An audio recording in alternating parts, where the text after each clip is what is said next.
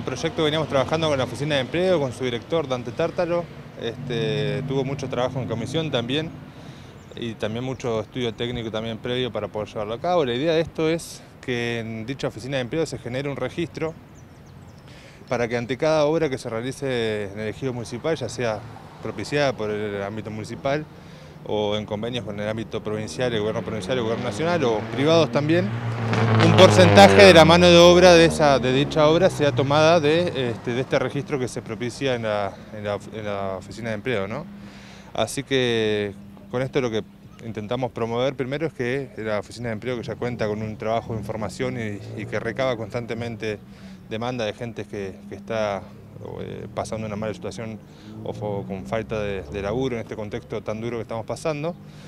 Eh, vamos a poder tener ahí la síntesis concreta y la, información certera y también va a haber, como te decía, este, un listado disponible para todas las empresas, aquellas que requieran de personal. La idea es con esto también poner en encuadre y en marco de que haya gente de Rawson trabajando en las obras que se llevan a cabo en Rawson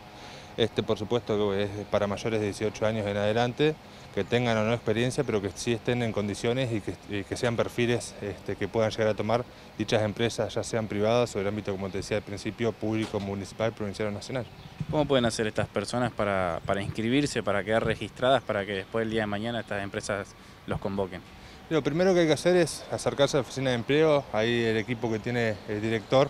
este, recaba toda la información, obviamente es una especie de currículum vital que se genera,